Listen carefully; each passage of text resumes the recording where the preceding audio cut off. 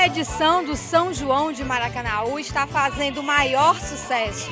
Os visitantes da capital junina estão curtindo desde o dia 10 de julho uma programação completa que inclui apresentações culturais, shows musicais e tudo isso numa bela cidade cenográfica. O São João de Maracanaú é palco da cultura popular nordestina. Logo na entrada da festa está instalada a vila com imagens de São João, São Pedro e de São José. E também a igrejinha de Santo Antônio, que tem uma forte ligação com a história da nossa cidade, além de ser conhecido popularmente como Santo Casamenteiro. Música, dança, teatro, artesanato encontram espaço através de cenários criados especialmente para a ocasião. O prefeito Firmo Camussa falou sobre a importância dessas representações artísticas. Esse evento é muito forte e é forte não apenas pelos shows. Nós estamos esse ano, no décimo ano, mas o que sustenta a nossa festa é a tradição, é a cultura. Nós estamos aqui na cidade cenográfica, onde encena, onde promove esse espaço todo, encenando o xadrez, encenando o engenho, onde a cana é moída naquele momento e logo em seguida a produção da rapadura. Nós temos a casa de farinha, a fazendinha, inclusive a fazendinha que leva o nome do Camussa, né?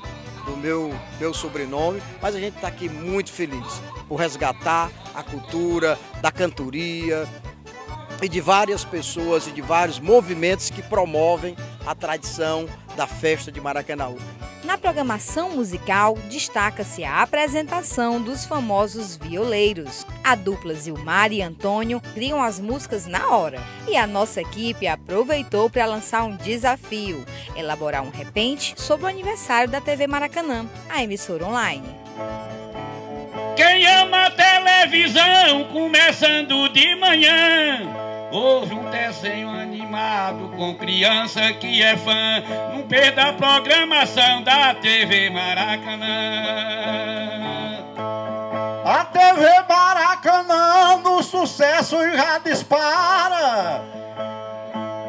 Um ano de aniversário esse poeta declara. A TV Maracanã que é mesmo a nossa cara público presente se animou com os versos de improviso e aprovou o talento dos repentistas. Muito bom, interessante, né? eu moro aqui no, no Maracanã há mais de 20 anos e estou aproveitando essa oportunidade que é única, né? É, meu, meu pai é apaixonado e por isso que eu também amo. Agora, quando se fala em festa junina, uma coisa não pode faltar: as famosas quadrilhas. Este ano, os grupos adultos e infantis se apresentam em diferentes modalidades de festivais. Nós vamos sediar o Festival de Quadrilha Municipal, Estadual e um cenário também do Brasileirão. Nós vamos ter aqui 19 estados se apresentando aqui. Então, isso é muito importante para a cultura e para o movimento de Maracanã. E se antes quadrilha era sinônimo de brincadeira, hoje se tornou uma disputa séria.